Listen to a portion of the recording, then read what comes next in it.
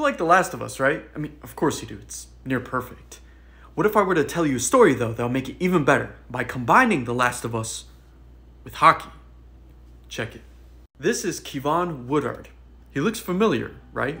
That's because he played the superb role of Sam in episode 5 of The Last of Us. Not only can this kid act, he's an amazing hockey player too, and his nickname is Hollywood, but I would have liked Super Sam. I think that's better. He plays for the Bowie Hockey Club in Baltimore, and naturally, he's a Washington Capitals fan.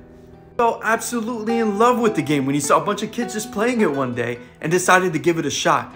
Now he's one of the top goal scorers on his team, but his ambitions did not stop there.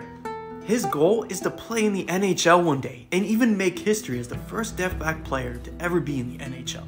That would be amazing.